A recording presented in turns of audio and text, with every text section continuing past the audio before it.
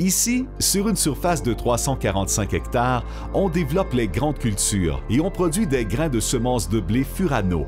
Temps, effort et investissement pour le crible à grains ou le séchoir à basse température permettent la rotation avec des primes à la qualité.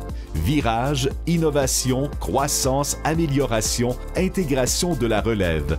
Tant de chemins parcourus depuis 1959 qui assurent la pérennité de l'entreprise. Le tout dans un grand respect du vivant.